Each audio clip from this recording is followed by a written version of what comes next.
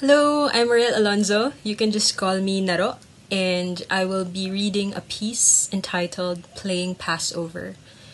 Now, uh, this poem is an outcome of my exploration and my recollection of childhood memories, of gender and sexuality, of stigma and crime.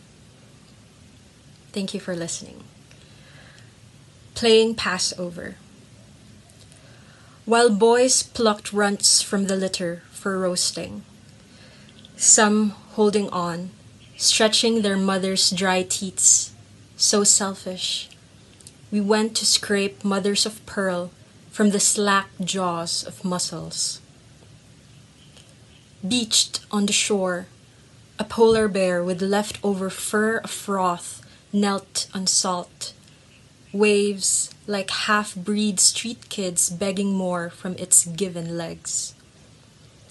Unafraid, we sipped out the last glacier hidden in her maw, learned how to shiver.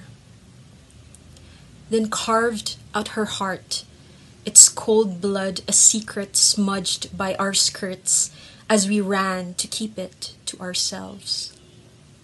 We passed and dribbled it, still beating Ruby, shooting at any halo, leaving hints of a hit and run in empty basketball courts.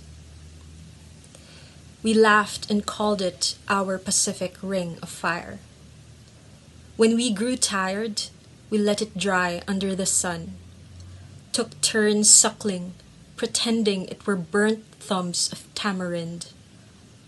We felt its fuel and downpour, lava that dripped and stained the slashed flour sacks between our thighs. Quietly, we hoped a new landmass would form. This heat we painted across the bamboo doors to stroke God's eyes away, make the hut invisible as our lips ultrasounded these wombs, hushed bellows in our below. A petty crime when future midwives ride in tandem to, swa- to snatch what couldn't be freely taken. Briefest sentence imprisoned in each pant. From afar, we heard bonfire and gongs, warning of a war, of how ready we were to find shelters of our own. Between sheets of tin roof, the bear's ashes singed the sky like a wet dream. Eggless for now, we let our nests cry. When our parents found us, we'd hide behind the alibi that those forbidden sounds were of a backstrap loom.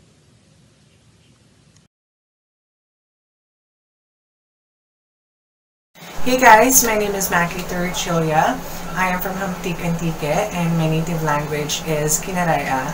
So just a quick background about my writing experience. I've started writing in Kinaray-a back when I was in high school and that's roughly 8 years ago. And from then on I was able to attend several workshops um, that has developed and honed my skills in writing, of course, with the help of my mentors and um, established writers that was able to share their knowledge and expertise with me on writing. So right now, I'll be reading one of my poems, part of the Busilak, which is the new queer uh, anthology edited by Sir J. Neil Garcia. And just some quick background about the poem that I've, I will be reading it's called patio or cemetery in English. And it's actually part of the third Merla Diaries. So Merla Diaries is like a series of poetry collections that I've been publishing as a zine. So the first Merla Diaries was published in 2017 as part of the Zine Zoned in Iloilo. The second Merla Diaries was also part of the third Zine Zoned in Iloilo and uh, actually, the third Merla Diaries is still unpublished, and I'm also working on the fourth one already right now. So Patio as a poem was formulated or created out of this inside joke that me and my friends have um, it's this it's about this certain moment when like the semen of a man is ejaculated out of the body and then the baby or the human being that was supposed to be uh, that was supposed to grow up out of that fluid of that bodily fluid will forever haunt whoever has been part of that intercourse. So actually it was a funny thing or it's a funny thought.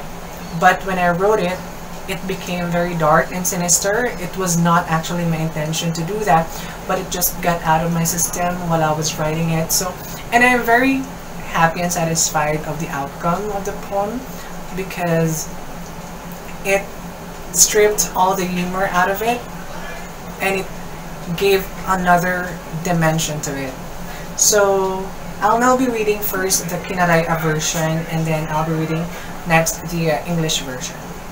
Alright? Alright, so Alright, so this is uh, Patio in Kinaray-a version. Saksi ang dilem, ang mga panulay, ang mga tamaho, kag ang mga murto nga nagapahimuyang sa binit-binit, sa ingas kang darwa kalalang, Diya kita sa mga nagaturo. Diya kita sa mga nagapahuway. Diya ko idupra patyen kag idiretso lubang ang puturo kang mga bata nga daad ng doktor, maestro, inhinyero, seaman, tambay, alpot, adik o kon kriminal.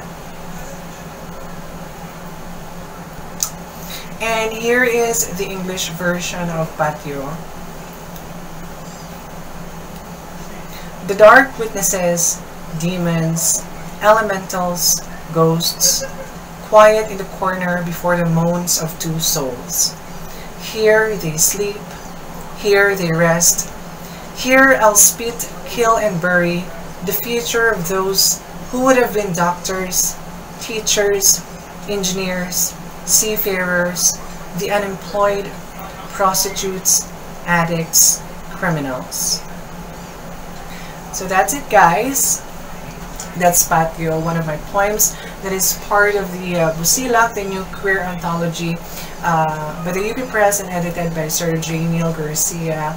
I am very much honored to share the pages of this uh, queer anthology with the amazing, with the other amazing poets that I've been with also in the workshop. So, so if you'd like, you can purchase your copy from Shopee or Lazada.